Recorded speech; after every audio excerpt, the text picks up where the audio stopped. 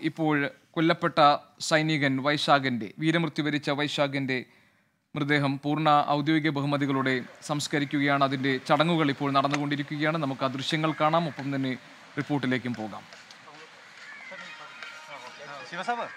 നിഖിൽ പ്രമേഷ് വിവരങ്ങൾ നൽകാനുണ്ട്. നിഖിൽ വൈശാഖിന് അന്തിമോപചാരം അർപ്പിച്ച് അവസാനത്തെ സല്യൂട്ട് നൽകി യാത്രയാക്കുകയാണല്ലോ. പൂർണ ഔദ്യോഗിക ബഹുമതികളോടെയുള്ള സംസ്കാര ചടങ്ങുകൾ തുടങ്ങിക്കഴിഞ്ഞല്ലോ തൊട്ടുകൊണ്ട് ഗോപീഷ്ണൻ ഇന്ന് രാവിലെ എട്ട് മണി വരെയായിരുന്നു വീട്ടിൽ പൊതുദർശനം ഉണ്ടായിരുന്നത് ഒരുപാടധികം ആളുകൾ അവിടെ എത്തി തങ്ങളുടെ പ്രിയപ്പെട്ട സുഹൃത്തിനെ രാജ്യം കാക്കുന്ന സൈനികനെ അവസാനമായി ഒരു നോക്ക് കാണുന്നതിന് വേണ്ടി എത്തിച്ചേർന്നിരുന്നു.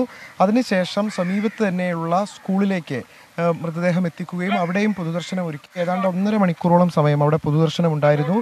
ഈ പാലക്കാടിന്റെ വിവിധ ഭാഗങ്ങളിൽ നിന്നും മറ്റ് ജില്ലകളിൽ നിന്നും ആളുകൾ ഇവിടേക്ക് എത്തി ഒരു നമുക്ക് കാണാൻ കഴിഞ്ഞു. വളരെ വൈകാരികമായ ഒരുപാട് മുഹൂർത്തങ്ങൾക്കായിരുന്നു ഈ ഇടങ്ങളിലെല്ലാം തന്നെ സാക്ഷ്യം വഹിച്ചിരുന്നത്. അവിടെ വെച്ച് തന്നെ പോലീസിന്റെ ഗൺ സല്യൂട്ട് നൽകി. മൃതദേഹം ഇപ്പോൾ തിരുവില്ലാമലയിലെ ഐവർ മഠം ശ്മശാനത്തിലേക്ക് എത്തിച്ചിരിക്കുകയാണ്.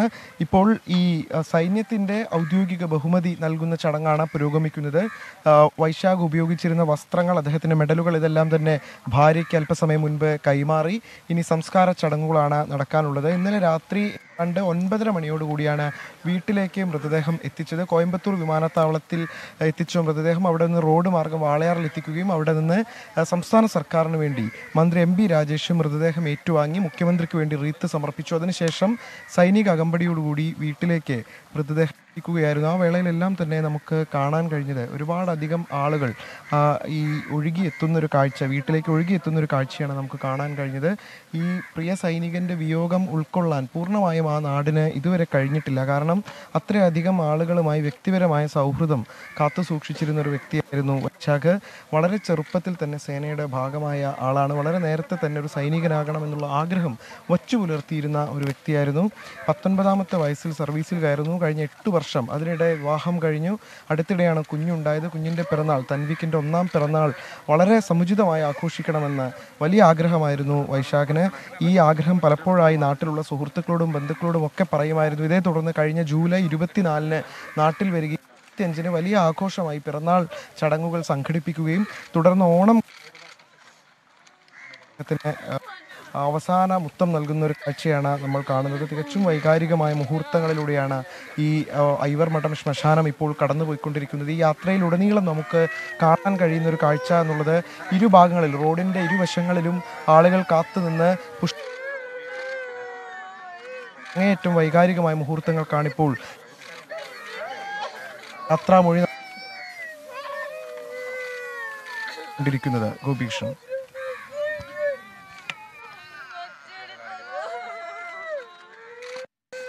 വീരമൃത്യു വരിച്ച ധീരജവാൻ വൈശാഖന് അന്തിമോപചാരം അർപ്പിച്ച് അന്ത്യയാത്രാമൊഴി നൽകുകയാണ് കുടുംബം. അതിന്റെ അങ്ങേയറ്റം വൈകാരികമായ വേദനിപ്പിക്കുന്ന ദൃശ്യങ്ങളാണ് ഇപ്പോൾ നമ്മൾ കണ്ടുകൊണ്ടിരിക്കുന്നത്. വൈശാഖന് പൂർണ ഔദ്യോഗിക ബഹുമതികളോടെ നാട് വിട ചൊല്ലുകയാണ്. അതിന്റെ ദൃശ്യങ്ങൾ നമുക്ക് കാണാം. സംസ്കാര ചടങ്ങുകൾ പുരോഗമിക്കുകയാണ് ഇപ്പോൾ.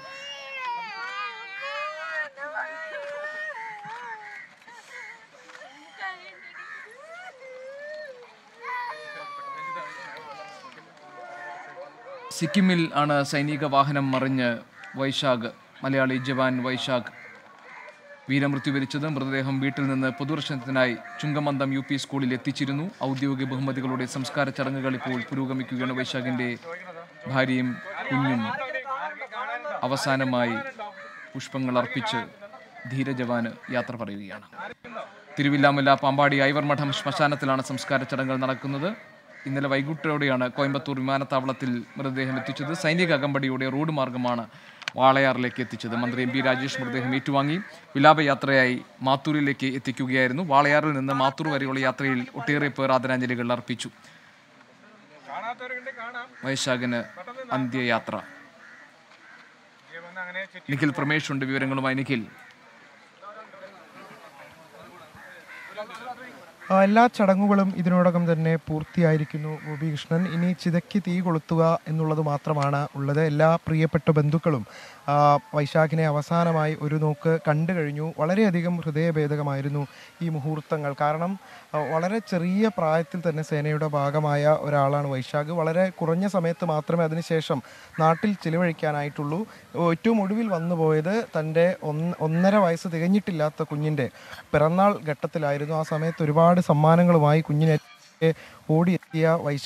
ആ സമയത്ത് വളരെ സന്തോഷത്തോടു കൂടി ഒരു നാടിനെ മുഴുവൻ വീട്ടിലേക്ക് എത്തിച്ച് നടത്തിയ പിറന്നാൾ ആഘോഷം അതൊക്കെ കഴിഞ്ഞ് മടങ്ങിപ്പോയ ഇരുപത്തിയേഴുകാരനാണ് ഇത്തരത്തിൽ അത്തരത്തിൽ സംഭവിച്ച ഒരു ദൗർഭാഗ്യകരമായ വാർത്തയാണ് പിന്നീട് ഈ നാട് കേട്ടത്. മാത്തൂർ എന്ന നാട് കേട്ടത്. ഏറ്റവും ഒടുവിൽ ഇപ്പോൾ ഭാര്യ ഗീതയും കുഞ്ഞും കുഞ്ഞെ തൻവിക്കും അമ്മയും അച്ഛനും അമ്മയും അച്ഛനുമെല്ലാം അവസാന ചുംബനം നൽകി വൈശാഖിനെ യാത്രയാക്കി കഴിഞ്ഞു. ഔദ്യോഗികമായിട്ടുള്ള ബഹുമതികളെല്ലാം നൽകി കഴിഞ്ഞു. ഈ നാടൊന്നടങ്കം ഇവിടേക്ക് ഒഴുകിയെത്തുന്ന ഒരു കാഴ്ച തന്നെയായിരുന്നു നമുക്ക് കാണാൻ കഴിഞ്ഞത്. ഇന്നലെ രാത്രി എട്ടര മണിയോടുകൂടി വീട്ടിലേക്ക് മൃതദേഹം എത്തിക്കൂ എന്ന് അറിയിച്ചിരുന്നെങ്കിലും വളരെ ആ വീടിന് പരിസരത്തേക്ക് ആ ചെറിയ ഗ്രാമ വഴികളിലേക്ക് ആളുകൾ ഒഴുകിയെത്തുന്ന ഒരു കാഴ്ചയാണ് നമുക്ക് കാണാൻ കഴിഞ്ഞത്. അവർക്കെല്ലാവർക്കും തന്നെ അത്രമേൽ പ്രിയപ്പെട്ട സുഹൃത്തും പൈസ കാണുന്നതിന് അധികം ആളുകൾ ഇവിടേക്ക് എത്തിച്ചേരുന്ന കാഴ്ചയാണ് നമുക്ക് കാണാൻ കഴിഞ്ഞത് അങ്ങനെ രാവിലെ എട്ട് മണിവരെ വീട്ടിൽ പൊതുദർശനം ഉണ്ടായിരുന്നു. അതിനുശേഷം അവരുടെ ആചാരപ്രകാരമുള്ള ചടങ്ങുകളെല്ലാം തന്നെ പൂർത്തിയാക്കി അവിടെ നിന്ന് സ്കൂളിലേക്ക് തൊട്ടടുത്ത് തന്നെയുള്ള ഒരു കിലോമീറ്റർ അപ്പുറത്ത് തന്നെയുള്ള സ്കൂളിലേക്ക് മൃതദേഹം എത്തിച്ചു. അവിടെയും ഒരുപാടധികം ആളുകൾ ഈ ആദരാഞ്ജലികൾ അർപ്പിക്കാൻ വേണ്ടി എത്തിച്ചേർന്നു. മന്ത്രി കെ കൃഷ്ണൻകുട്ടി അടക്കമുള്ളവർ ആ സ്കൂളിലേക്കായിരുന്നു എത്തിച്ചേർന്നിരുന്നത്. അതിനുശേഷം അവിടെ നിന്ന് ഈ ഐവ ധീരജവാൻ വൈശാഖന് അന്ത്യയാത്ര ഒരുക്കുകയാണ്. നാട് വിട നൽകുകയാണ്. സംസ്കാര ചടങ്ങുകൾ നടക്കുകയാണ്. അതിന്റെ ദൃശ്യങ്ങളാണ് നമ്മൾ കണ്ടുകൊണ്ടിരുന്നത്.